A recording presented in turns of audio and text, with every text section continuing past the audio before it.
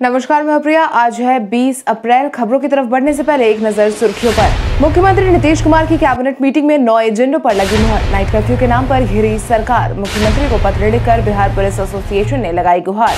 प्रवासी मजदूरों को भी बिहार में रोज़गार को लेकर राजद ने पूछे सवाल। डीएलएड की विशेष परीक्षा हुई स्थगित। अब चले बढ़ते हैं बिहार की पच्चीस बड़ी खबरों की ओर विस्तार से। मुख्यमंत्री नीतीश कुमार की कैबिनेट मीटिंग में नौ एजेंडों पर लगी मुहर। कोविड 19 के बढ़ते संक्रमण के बीच मुख्यमंत्री नीतीश कुमार ने बीते दिन कैबिनेट मीटिंग बुलाई थी, जिसमें कुल मिलाकर नौ एजेंडों पर मुहर लगाई गई थी, जिसके तहत नालंदा के राजगीर में नेचर सफारी, ओपी का सृजन एवं उसके संचालन के लिए छियानवे पदों के सृजन की स्वीकृति दे दी गई है। इसके साथ ही बिहार प्रशासनिक सेवा के वरीय उप समाहर्ता नरेंद्र नाथ को सेवा से बर्खास्त कर दिया गया है। बिहार आकस्मिक निधि के अस्थायी कार्य जो साढ़े करोड़ के हैं, जो तीस मार्च दो हज़ार बाईस तक के लिए अस्थायी रूप से बढ़ाकर बढ़ाकर आठ हज़ार सात सौ बत्तीस करोड़ दस लाख रुपए किया गया है। इसके साथ ही समान प्रशासन विभाग के प्रशासनिक नियंत्रण के सभी जिलों में अवस्थित सरकारी अतिथि गृह के सुगम संचालन को लेकर परिचारी रसोइयों के एक सौ इक्यावन पदों के सृजन की स्वीकृति दे दी गई है। बिहार में कोविड 19 के मिले 7000 से ज़्यादा मामले। बिहार में कोविड 19 प्रभावितों की संख्या लगातार बढ़ती जा रही है। स्वास्थ्य विभाग की तरफ़ से मिली जानकारी के अनुसार, बिहार में बीते दिन के पिछले 24 घंटे में सात हज़ार चार सौ सतासी मामलों की पुष्टि हुई है जिसके बाद एक्टिव मरीजों की संख्या उनचास पर पहुँच गई है। इसके साथ ही अगर हम प्रभावित जिलों की बात करें तो अररिया में तैतालीस अरवल में अंठावन, औरंगाबाद में दो सौ, बांका में तैतालीस, बेगूसराय में दो सौ पचपन, भागलपुर में तीन सौ चौदह, भोजपुर में एक सौ दस, बक्सर में उनासी, दरभंगा में चौहत्तर, ईस्ट चंपारण में एक सौ बासठ गया में दो गोपालगंज में अंठानवे, जमुई में बारह, जहानाबाद में एक सौ सतहत्तर, कैमूर में सोलह, कटिहार में एक सौ दो, खगड़िया में बाईस, किशनगंज में सोलह, लखीसराय में सत्तर, मधेपुरा में पैंसठ, मधुबनी में अट्ठासी, मुंगेर में तीन सौ उनचास, मुजफ्फरपुर में तीन सौ नवासी, नालंदा में एक सौ अठहत्तर, नवादा में एक सौ छत्तीस, पटना में दो हज़ार छह सौ बहत्तर, पूर्णिया में एक सौ उनचास, रोहतास में छियानवे, सहरसा में एक सौ उनसठ, समस्तीपुर में दो सौ सत्रह, सारण में दो शेखपुरा में पैंतालीस, शिवहर में बाईस, सीतामढ़ी में बयालीस, सिवान में एक सुपौल में पैंसठ, वैशाली में छियानवे वेस्ट चंपारण में एक मामले सामने आए इसके साथ ही उनतीस ऐसे मामलों की पुष्टि हुई जो दूसरे राज्य के हैं, लेकिन उनका सैंपल बिहार के अलग अलग जिलों में कलेक्ट किया गया है। इसके साथ ही अगर हम बीते दिन के पिछले चौबीस घंटे की बात करें तो कुल मिलाकर दो हज़ार छह सौ उन्नीस मरीज़ ठीक हो गए हैं, जिसके बाद ठीक होने वाले मरीजों की संख्या दो पर पहुँच गई है। विधान परिषद में एक और कर्मी ने गवाई अपनी जान। बिहार विधान परिषद सचिवालय में कोविड 19 का संक्रमण थमने का नाम नहीं ले रहा है। कोविड 19 के बढ़ते मामलों के बीच बिहार विधान परिषद में एक और कर्मी की जान चली गई है। बिहार विधान परिषद में काम करने वाले सफ़ाई कर्मी लाल बाबू राम ने दुनिया को अलविदा कह दिया है। जिसके बाद लाल बाबू राम के गुजर जाने पर परिषद के कार्यकारी सभापति अवधेश नारायण सिंह ने शोक व्यक्त करते हुए श्रद्धांजलि दी है। इसके साथ ही विधान परिषद सचिवालय को पच्चीस अप्रैल तक के लिए बंद कर दिया गया है। इससे पहले विधान परिषद में दस कर्मियों की जान भी जा चुकी है। पिछले दिनों एक सहायक की भी कोविड 19 के कारण जान चली गई थी।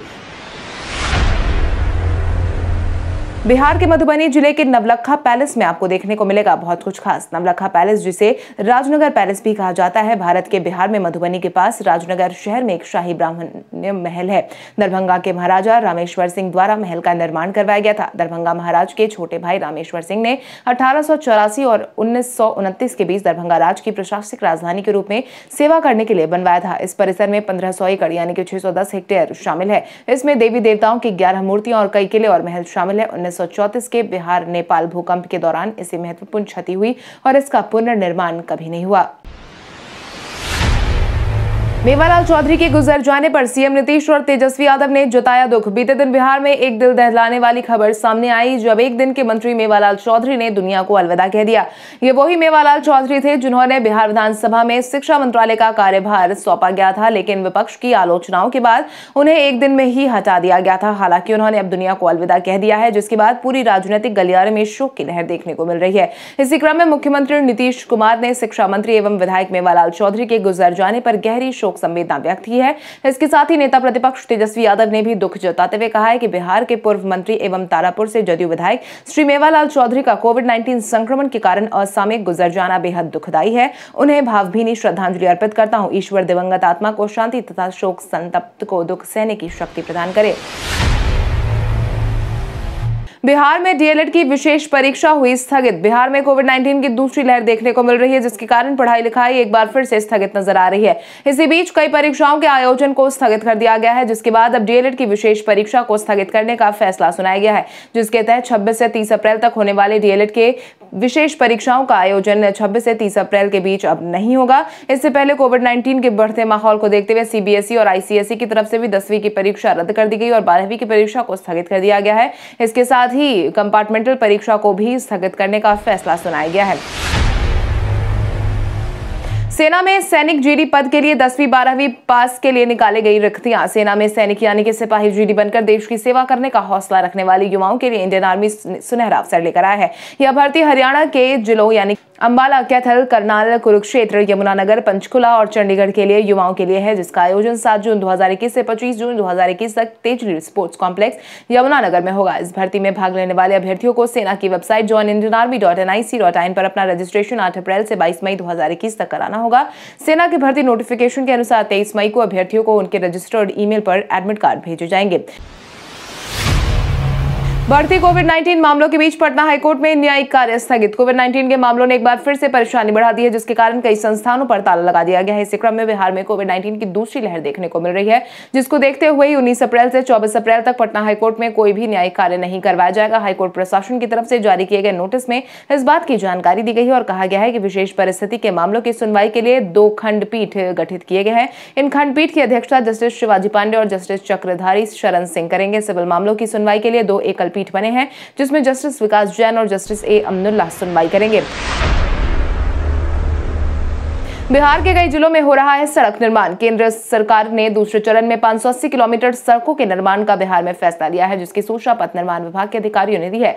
सड़क निर्माण करवाने के क्रम में तीन उग्रवाद प्रभावित ज़िले नवादा, जमुई और रोहतास में सड़क का जाल बिछाया जा रहा है। सोलह मीटर पुल का भी निर्माण करवाया जाएगा और सत्ताईस पुल भी बनाए जाएँगे। इसके साथ ही पचास पथ निर्माण की योजना को मंजूरी दे दी गई है। पथ निर्माण विभाग की तरफ़ से मिली जानकारी के अनुसार बिहार में पहले चरण में गया औरंगाबाद, बांका, जमुई और मुजफ्फरपुर में चौसठ पथ निर्माण के पैकेज पर काम चल रहा है, जिसकी स्वीकृति केंद्र ने पहले ही दे दी है। इसके तहत एक हज़ार अड़तीस किलोमीटर लंबाई में उग्रवाद प्रभावित जिलों में सड़क का निर्माण चल रहा है। इसमें इकतालीस पुलों का भी निर्माण हो रहा है।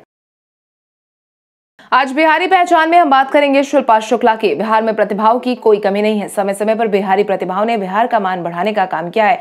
इसी क्रम में आज हम बात करेंगे शिल्पा शुक्ला की। शिल्पा शुक्ला का जन्म बिहार के वैशाली ज़िले में हुआ था। शिल्पा शुक्ला एक भारतीय फ़िल्म और थिएटर अभिनेत्री है। वो दो हज़ार सात की स्पोर्ट्स ड्रामा शक दे में अपनी भूमिकाओं के लिए जानी जाती है। भारत और दो हज़ार तेरह की नवने और फ़िल्म बी ए पास जिसके लिए उन्हें सर्वश्रेष्ठ अभिनेत्री के लिए फ़िल्म फेयर क्रिटिक्स अवार्ड से सम्मानित किया गया। वो नौकरशाह और राजनीतिक नेताओं और विद्वानों के परिवार से आती हैं। उनका भाई तेंजिन प्रियदर्शी एक बौद्ध भिक्षुक है और उनकी बहन एक वकील है। नाइट कर्फ्यू के नाम पर घिरी सरकार। बिहार में कोविड 19 का संक्रमण तेज़ी से बढ़ता जा रहा है, जिसके कारण ही बिहार सरकार ने एहतियाती कदम उठाते हुए बिहार में नाइट कर्फ्यू लगाने का ऐलान किया था। हालाँकि बिहार सरकार के इस फैसले से सरकार खुद ही घिरती नज़र आ रही है, जिसको लेकर भाजपा के प्रदेश अध्यक्ष संजय जायसवाल ने सवाल खड़े कर दिए वहीं राजद और कांग्रेस ने सरकार को घेरने की कोशिश की है। राजद प्रवक्ता मृत्युंजय तिवारी ने इसे अजीबोगरीब फैसला बताया। वहीं भाजपा नेता संजय जायसवाल ने कहा है कि आज बिहार सरकार ने बहुत सारे फैसले लिए हैं, जो परिस्थिति में बहुत ही अनिवार्य है। कोई विशेषज्ञ तो नहीं हूँ, लेकिन फिर भी यह समझ नहीं पा रहा हूँ कि रात का कर्फ्यू लगाने से कोविड नाइन्टीन वायरस का प्रसार कैसे बंद होगा। वहीं कांग्रेस नेता अजीत शर्मा ने कहा है कि सरकार का यह फैसला हास्यपद है। मुख्यमंत्री को पत्र लिखकर बिहार पुलिस एसोसिएशन ने लगाई गुहार। बिहार में कोविड 19 के मामलों ने सारे रिकॉर्ड तोड़ दिए हैं। आम से लेकर खास तक इसकी चपेट में आ रहे हैं। इसी बीच पुलिस के अधिकारी और कांस्टेबल की जान भी कोविड 19 के कारण चली गई है। इसी बीच बिहार पुलिस एसोसिएशन ने हाल ही में मुख्यमंत्री नीतीश कुमार को एक पत्र जारी किया है। बिहार पुलिस मेन्स एसोसिएशन के अध्यक्ष नितिन जी तिवारी पुलिस के माध्यम से मुख्यमंत्री नीतीश कुमार के साथ स्वास्थ्य विभाग में कर्मी के पुलिसकर्मियों के लिए इस संकट की घड़ी में अस्पताल में पुलिसकर्मी और उनके परिजन के लिए बेड रिज़र्व रखने की गुहार लगाई है। इसके साथ ही बिहार पुलिस एसोसिएशन ने कहा है कि मुख्यमंत्री नीतीश कुमार का यह कर्तव्य है कि संकट में अपने पुलिस परिवार के सदस्यों के दुख को कम करे। श्रीमान से आग्रह है कि अपने स्तर से पहल की जाए।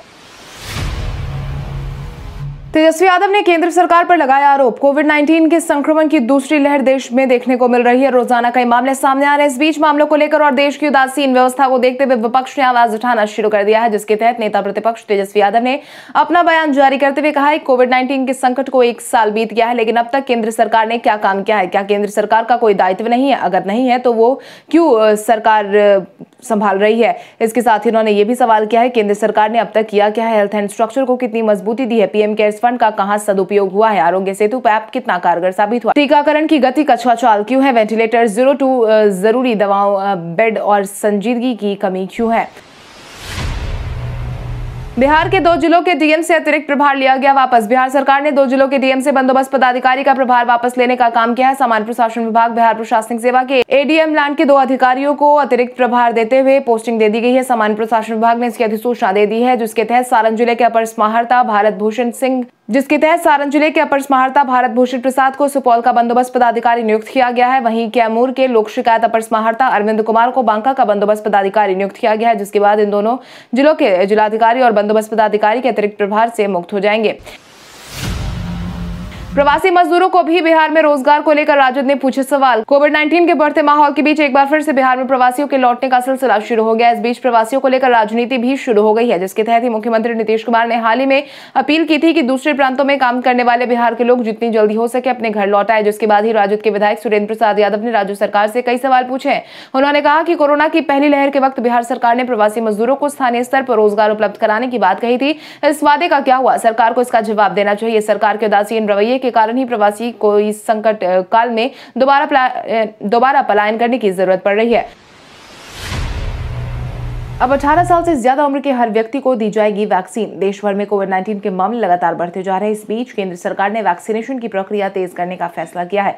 इसको ध्यान में रखते हुए केंद्र सरकार ने 18 साल से ज़्यादा उम्र के व्यक्तियों को एक मई से वैक्सीन दिए जाने का फैसला सुनाया है। बीते दिन प्रधानमंत्री नरेंद्र मोदी की अध्यक्षता में बैठक का आयोजन करवाया गया था, जिसमें यह फैसला लिया गया है कि एक मई से अठारह साल से ज़्यादा उम्र के हर एक व्यक्ति को कोविड नाइन्टीन वैक्सीन की खुराक दी जाएगी। अब तक पैंतालीस साल से ज़्यादा उम्र के लोगों को ही वैक्सीन लेने की इजाज़त दी गई थी। प्रधानमंत्री नरेंद्र मोदी ने बाबत कहा है कि भारत में टीकाकरण तेज़ी से करवाए जाने की ज़रूरत है, क्योंकि मामले तेज़ी से बढ़ते जा रहे हैं। बिहार में एक ईमेल पर मंगवा सकते हैं रेमडेसिविर इंजेक्शन। कोविड 19 के बढ़ते मामलों के बीच गंभीर मरीजों के लिए रेमडेसिविर इंजेक्शन संजीवनी बूटी की तरह साबित हुआ है। हालाँकि बिहार सरकार ने इसकी आपूर्ति व्यवस्था बदल दी है।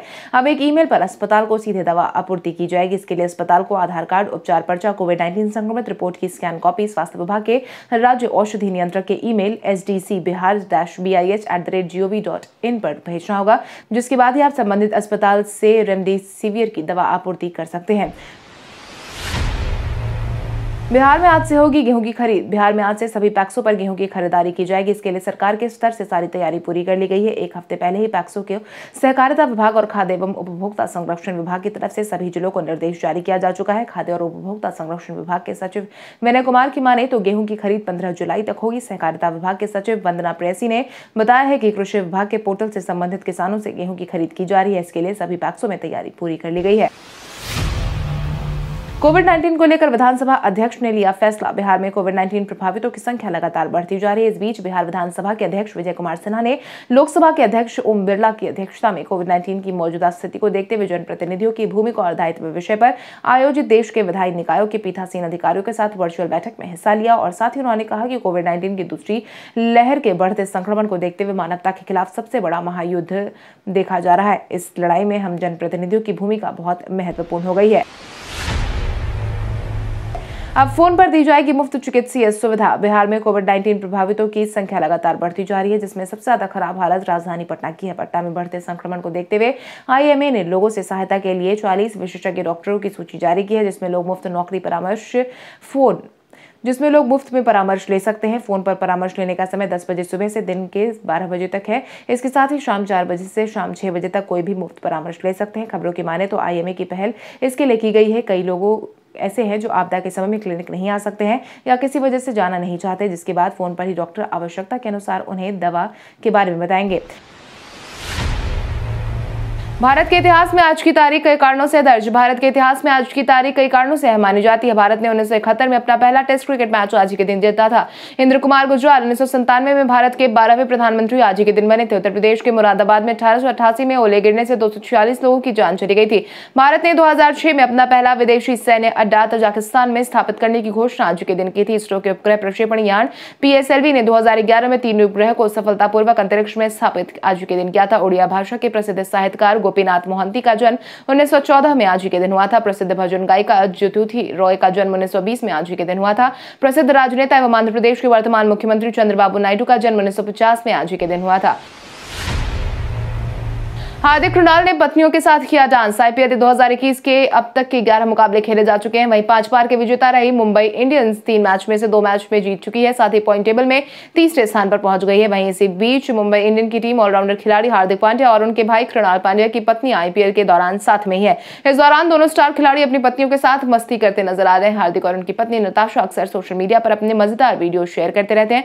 इसी क्रम में एक और वीडियो दोनों ने शेयर किया इस वीडियो में हार्दिक पांड्या, उनकी पत्नी नताशा, कृणाल पांड्या और उनकी पत्नी पंखुड़ी शर्मा जस्टिन बीबर के गाने पर डांस करते नज़र आ रहे हैं, जिसके बाद नताशा ने कैप्शन में लिखा है, द पांडे स्वैग इसके साथ ही आज मुंबई इंडियंस और दिल्ली कैपिटल्स के बीच में एक बार फिर से मुकाबला देखने को मिलने वाला है, जिसके बाद देखना यह दिलचस्प होगा कि क्या मुंबई इंडियंस अपनी जीत का सिलसिला बरकरार रख पाती है या नहीं।